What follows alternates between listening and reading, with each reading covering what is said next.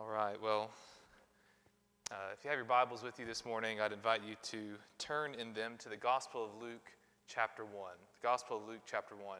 As we have been going through Advent, there are four Sundays, and so as we together prepare ourselves to celebrate the birth of Christ, we wanted to see what the, what the evangelist Luke said as he wrote about the announcement of Christ's birth to his mother Mary this morning. So if you would please listen, follow along uh, in your, on your Bible, on your phone, on your tablet, whatever you may be reading on, as we read together Luke chapter 1, verses 28 through 30, or verses 26 through 38.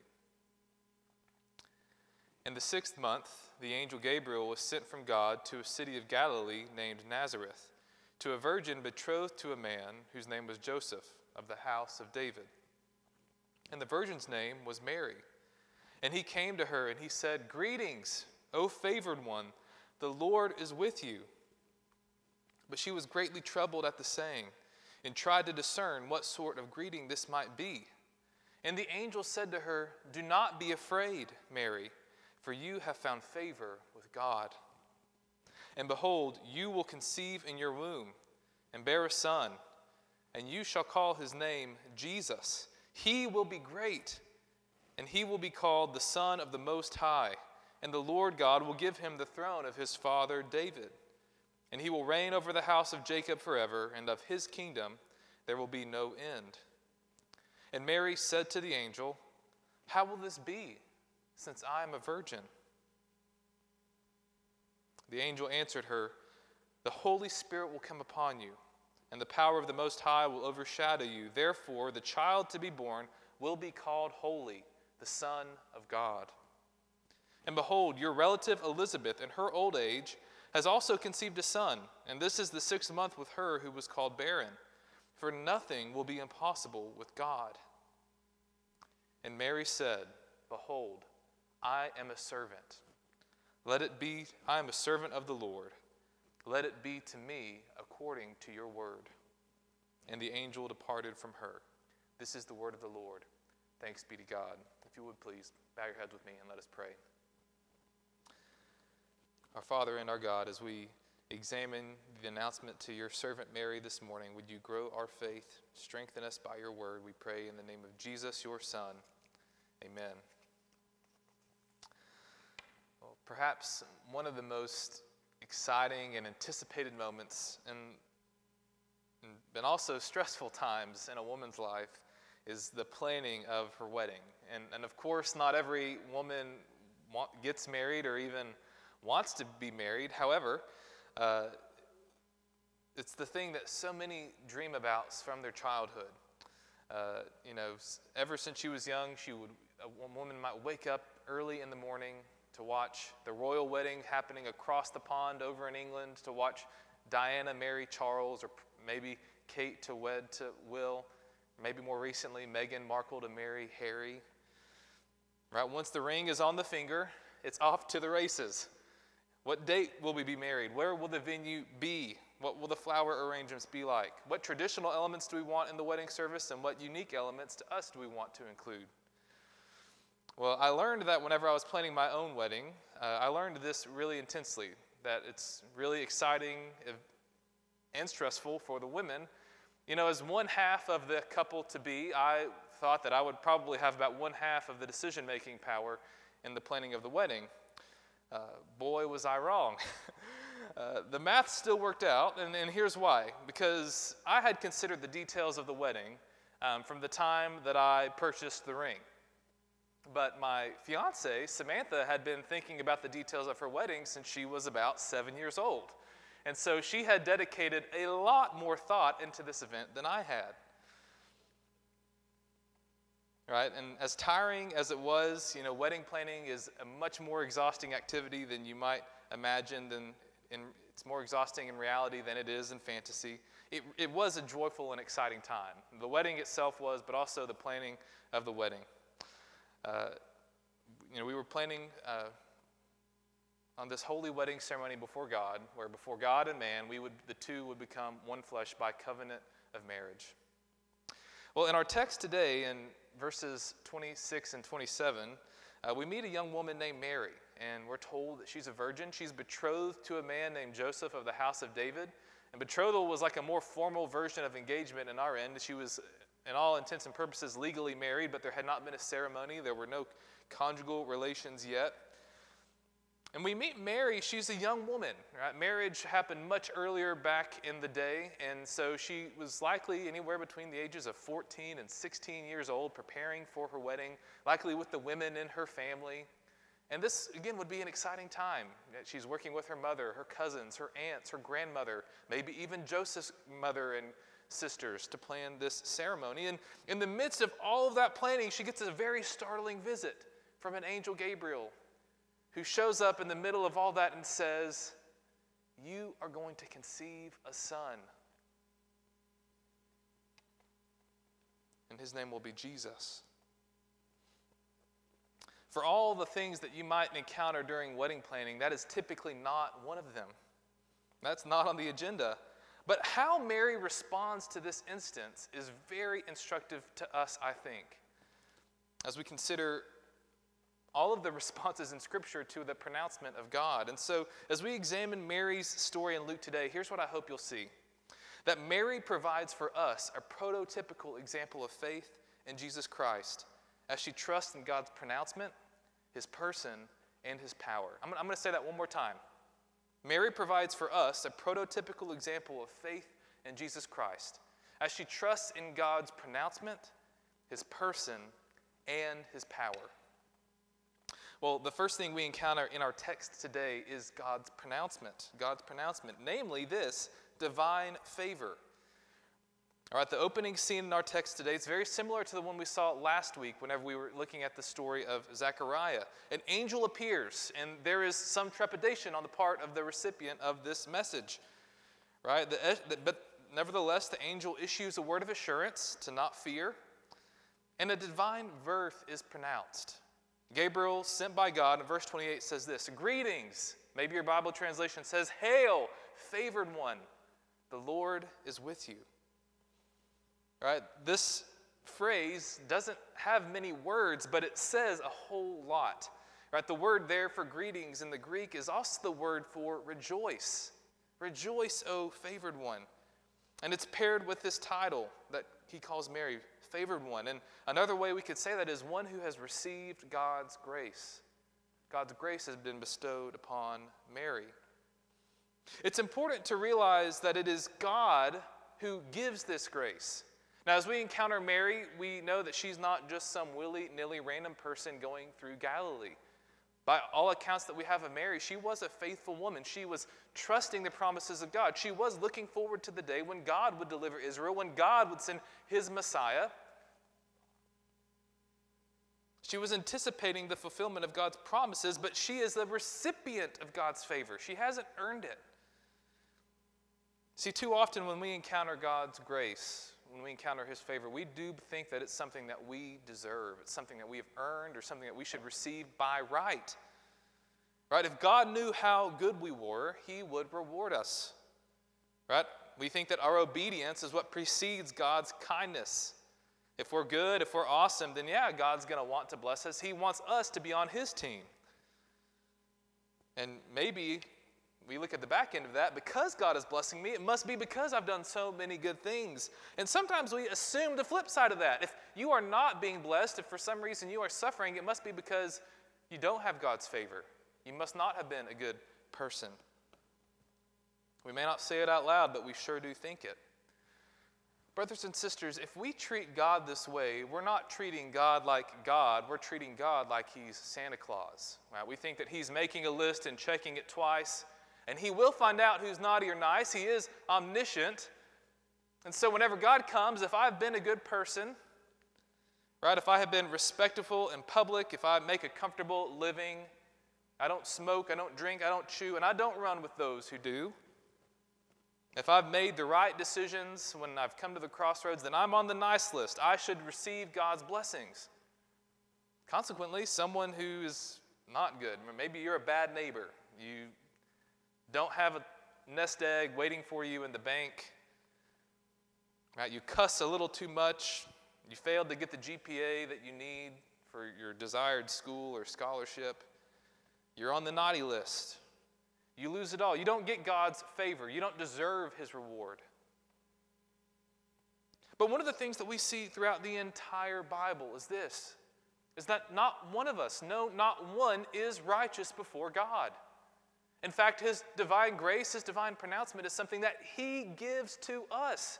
It is God who takes the initiative. It is God who gives, irrespective of our condition or our lot in life. And it's once that God makes this pronouncement of grace upon us that we are blessed. Moreover, his grace produces joy. I'm going to give you a quick lesson in Greek. I don't want to do this often, but the word for joy in Greek is chara. The word for grace in Greek is charis. They're the same word, but for one or two letters. And I can think we can say with confidence that whenever we receive the grace of God, whenever we receive his charis, we also get his joy, his chara. So whenever Gabriel says, Hail, greetings, rejoice, favored one, we know that it is God's grace that brings joy. Whenever the angel pronounces to the shepherds in Luke chapter 2, verse 10, Behold, I bring you good news of great joy. It is a message of grace that produces joy in the shepherds. And one of the major ways in which God's grace gives us joy is by giving us his personal presence. His personal presence. This is one of the most dominant themes throughout the entire Bible. Hail, favored one, the Lord is with you. Think of a text like Isaiah 43, verse 2. When you pass through the waters, when you go through the sufferings of life, I will be with you. You go through the rivers, they will not overwhelm you.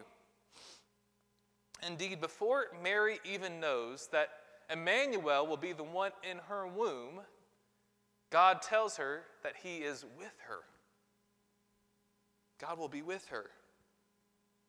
Well, even though that is an amazing, gracious message from God, Mary's response is probably the same one that you and I would have. An angel has appeared and made this pronouncement to her. She's a bit troubled, perplexed, she's confused. It doesn't, it doesn't say that she fears like Zechariah does, but nevertheless, Gabriel tells her, Do not be afraid. But as she receives this perplexing, confusing message, what we're also told is that she tried to discern these things in her heart. She pondered them in her heart. And indeed, this is something that we see about Mary throughout the Gospels that whenever she receives a gift from God, her first response is to ponder that. As we hear in Luke 2, as Jesus grows up and matures into being a child, an infant to a toddler to a child to a young man, it says that Mary pondered, she held these things in her heart. And she rejoiced at the things that God had given her. Whenever God gives us grace, we too would be in the right to just ponder this. The grace of God. Oh, to grace, how great a, day, a debtor daily I'm constrained to be. God, let your goodness, like a fetter, bind my wandering heart to thee. We sing, Amazing Grace. How sweet the sound that saved a wretch like me. I once was lost, but now I'm found, was blind, but now I see. Indeed, if we have received God's grace, we've received the salvation that He has given to us in Jesus Christ, we would do well to ponder that, knowing that it's not because of anything that we've done, but solely because of the magnificent and the magnanimous grace of God in Christ towards us. Well, as Mary receives God's pronouncement of grace, she also receives God's person, God's person, namely Jesus Christ. Because the grace that was bestowed on Mary is grace, it is a gift for a specific purpose that she would bring the Son of God into the world. Look at verses 31 to 33 as we read Gabriel's announcement. Behold, you will conceive in your womb and bear a son, and you shall call his name Jesus. He will be great and he will be called the Son of the Most High, and the Lord God will give to him the throne of his father David. And he will reign over the house of Jacob forever, and of his kingdom there will be no end. Just like God's promise concerning Elizabeth last week at the first half of Luke 1, Mary's told that she will bear a son, and she's told what to name the son. But this time the name is Jesus, which in Hebrew means Yahweh saves, the Lord saves.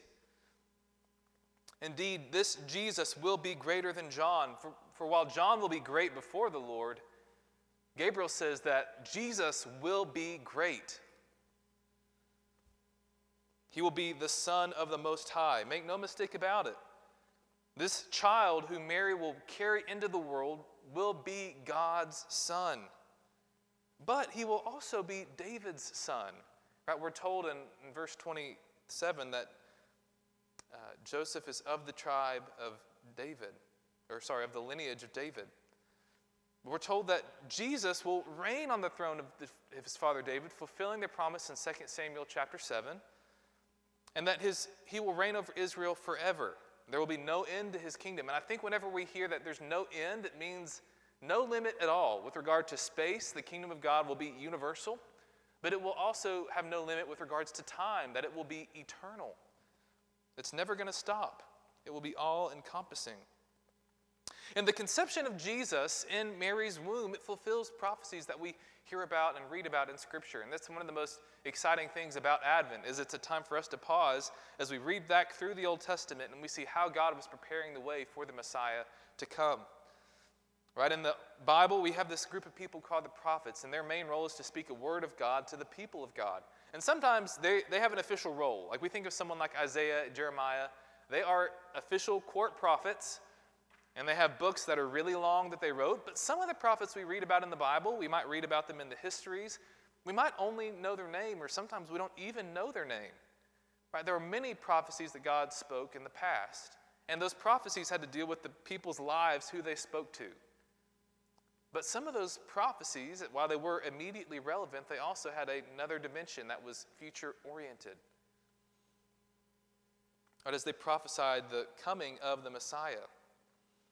Right? It's a prophetic pronouncement that God is not through with Israel, but that he would fulfill all the promises that he made to Abraham and that he made to Moses and that he made to David and beyond. God would be faithful to those.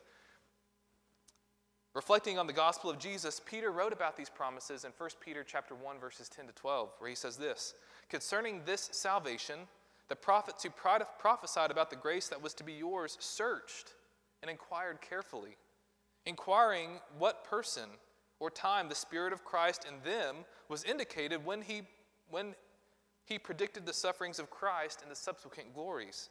It was revealed to them that they were not serving themselves, but you, and the things that have now been announced to you through those who preach the good news to you by the Holy Spirit sent from heaven. Indeed, the fact that Mary is going to have the Son of God in her womb fulfills what Zephaniah chapter 3, verses 14 to 17 says. Or the prophet says this Sing aloud, O daughter of Zion. Shout, O Israel. Rejoice. Exult with all your heart, O daughter of Jerusalem. The Lord has taken away the judgments against you. He has cleared away your enemies. The King of Israel, the Lord, is in your midst. He shall never again fear evil. On that day it shall be said to Jerusalem, Fear not, O Zion. Let not your hands grow weak. The Lord your God is in your midst, a mighty one who will save. He will rejoice over you with gladness. He will quiet you by his love. He will exult over you with loud singing. Indeed, as we think of how this text is fulfilled in the life of Mary, we know that she is the daughter of Zion. She is the daughter of Jerusalem. And it says, The Lord is in your midst. And here's the thing about the Hebrew that word for being in the midst of, in the middle of, it's another word that's used to describe the womb of pregnant women. The Lord, the King of Israel, is in your womb. A mighty one who will save. Remember, the name of Jesus means the Lord saves. And so, as a result of God's pronouncement, not only do we have his favor, but also we have his person, his son, Jesus Christ. God become flesh through the womb of the Virgin. And this raises an excellent question. You m- might be thinking about it. Mary thought about it, which is this in verse 34. Mary said to the angel, How will this be? Since I am a virgin. How will this be, God? How are you going to do this thing? Well, this brings me to my final point, which is that Mary's virginal conception of Jesus and birth reveals God's power. Mary's virgin conception of Jesus reveals God's power. Mary asks a good question, and it's actually the same question that Zechariah asked in Luke chapter 1, verse 16. After God told Zechariah that his old wife Elizabeth would conceive a child and would uh, give birth to John, Zechariah asks Gabriel, How shall I know this? He's asking for a sign. And Zechariah, we're told, failed to believe. He is made silent, he's made unable to speak until the child is born, and we're told it's because of his lack of belief. But Mary's question, How shall this be since I'm a virgin? it's different from Zechariah's on two counts. All right, the first is that as you think about an old woman having a child versus a virgin having a child, one of them is highly improbable, the other one really is impossible. Now, there's no way that the latter could happen by our knowledge. But, and, and Mary literally says, whenever she says, How will this be since I'm a virgin? She literally says, How will this be? For I have not known a man. I do not know a man. So the chances of her conceiving a child are zero. But Gabriel answers this question in verse 37, and I want us to really meditate upon this for just a moment. For nothing will be impossible with God. Nothing will be impossible with God. How will he do this? Well, the angel in verse 35 says this The Holy Spirit will come upon you, the power of the Most High will overshadow you. Therefore, the child to be born will be called holy, the Son of God.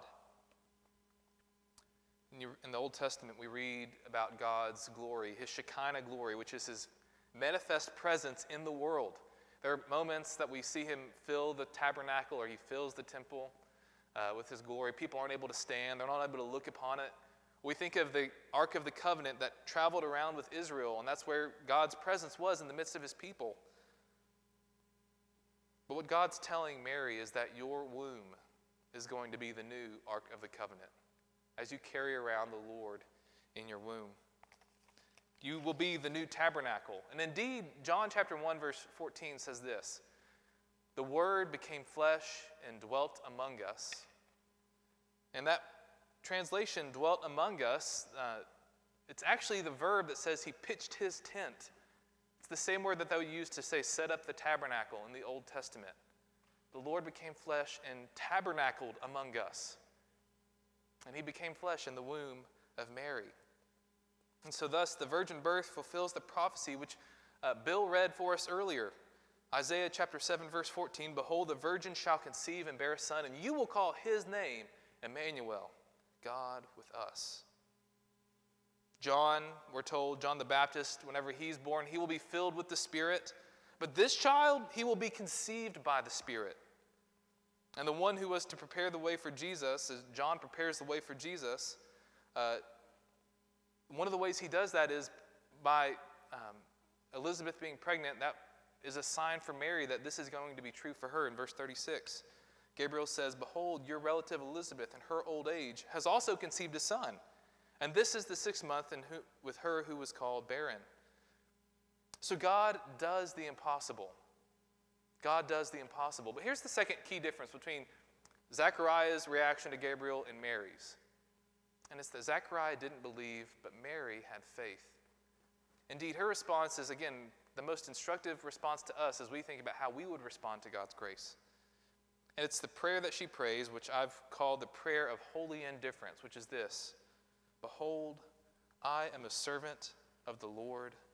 Let it be to me according to your word. Mary, you're a young woman. You are about to conceive a child without any other man, which means it's not your fiance's son. Your wedding is planning is going to be interrupted, right? Before you're going to your body's going to go through such dramatic changes as a young woman, as you carry this child into the world, and Mary's response is this Behold, I am a servant of the Lord. Let it be to me according to your word. We might need to hold the wedding off a little longer, but Mary responds with faith.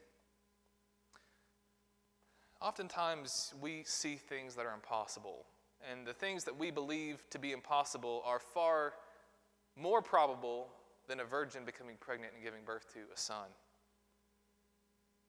But we still have less faith than Mary. We see the difficulties in front of us and we react much more like Zechariah than Mary. We wonder how will this pandemic ever end? When will the unemployment rate fall down to a percentage so that enough people can have all that they need? How will God provide for all that my family needs during this time? How will God work in my child or my grandchild or my great grandchild's life to bring them to the Lord? Their hearts are so hardened to Him. How will He save them and bring them to faith? How will God provide for all that the church needs? How in the world, during an Advent season where we aren't able to meet in person, how in the world are we going to raise our $2,000 goal for Lottie Moon? Brothers and sisters, these are all much less impossible than God bringing his son Jesus Christ into the world through the womb of a virgin. And I can't say that the road before us is, would be easy if only we would believe. Indeed, the servants of God through the ages have often encountered difficulty despite their belief. I can't say that God doesn't have many seasons of just, uh, many seasons of trials for us to walk through as we walk in obedience and deference to His will. However, I do know that as we face these challenges and more, that if we have the posture of Mary, if we have the posture of faith, that God will make the impossible possible. Moreover, as we think about the reason that Jesus became a human, the, the reason that he was conceived in the virgin's womb, the fact that he lived a perfect life, died upon the cross for our sins that you and I might, might be forgiven and reconciled to God, and that He rose again from the dead, we might think, why would He do such a thing?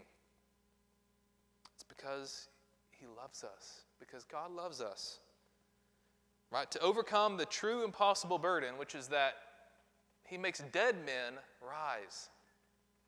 He makes dead women to live again by the Holy Spirit, to quicken them to give them breath where there was none before. And so, as we think about the season of Advent, as we look forward to the return of Jesus Christ, again, that might seem unfathomable, unfathomable to us, but it is what God has promised that He would do. And so, if you're watching today, I would exhort you to believe, to trust this one, to trust this Jesus Christ, to continue along the way with us over the next few Sundays, and even as we get to Christmas Eve, and Christmas Day as we look forward to the birth of the Messiah, Jesus. I'd invite you to continue joining us over these next few weeks. See why we believe and confess this Son, Jesus Christ, to be our one and only Savior. And so, as we ponder these things, I'd invite you, please bow your head with me as we go to the Lord in prayer. Again, as you pray today, I Maybe you're here today and you're hearing what I've said and you think, oh, that just doesn't make any sense. Or maybe you've heard the message about grace and you think, but God, if you really knew all the things I had done, there's no way you would forgive me. Well, today I would invite you to trust in the Lord Jesus Christ. All right, the way that we are saved according to the scriptures is by grace through faith, not according to works. And so today, if you have never believed, I'd invite you, yes, even today, to place your faith in Jesus Christ. Ask the Lord, confess before Him your sins. Confess before Him that you know you've done wrong things. And ask Him for forgiveness. Tell Him that you believe in, the son, in His Son, Jesus Christ, for your salvation.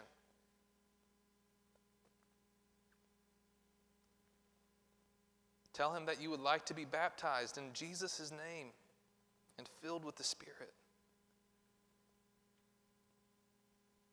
If you've prayed this prayer, if you've prayed to receive the Lord, I'd invite you to reach out to us here at the church. Send us a message on Facebook, send us an email, give us a call. We want to know.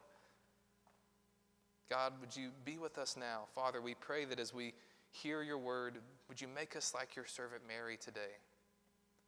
as she pondered the grace in which you poured out upon her, as God, as she pondered what it would mean to carry the Messiah into the world.